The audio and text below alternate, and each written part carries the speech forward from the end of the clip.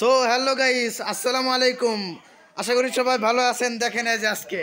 আমাদের ভাই হরজত আলী, দুই কেজি মাছ আনা হয়েছে, আমরা ব্যক্তি গ্রুপে দেখেন এই যে গ্রুপ এই যে মাছ মাছ আনছি দুই কেজি।